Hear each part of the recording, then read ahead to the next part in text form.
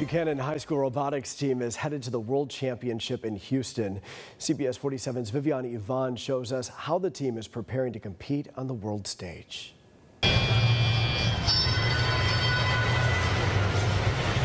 In just a couple of weeks, the Buchanan High School robotics team will be heading to the World Championship in Houston, competing against 600 other schools from around the world. Well, the hope is always to win it, but um, I think that we're all going to enjoy it and have a memorable experience no matter what and I think it will be a significant impact on all of our lives. Olson is a senior and is also the chief technical officer, which means he works on all of the parts used to create the robot, including writing code that controls how the bot moves.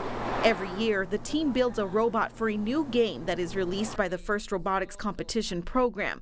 This year, the robot needs to pick up the orange ring and shoot it to score points in the designated area. Right now, to prepare for the World Championship, the team is fine tuning any problems with the robots. It's inspiring to watch because they're having to juggle being full time students, taking God knows how many AP classes or whatnot, and doing so many other things with their lives, and still showing up here wanting to succeed and never giving the students have spent 12,000 hours in the shop since August, but it's not just about the robotics. The program also has a finance, media, and outreach aspect, teaching students life skills.